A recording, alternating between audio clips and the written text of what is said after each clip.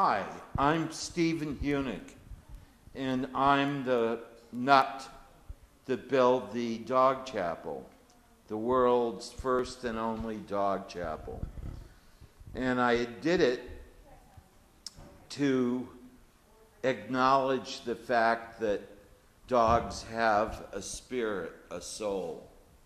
I wanted a place where people that had lost their, their dogs to be able to um, get rid of some of their grief, allow people to put up photographs and one paragraph that they've written about their dog and share it with other people. And it's just been so successful.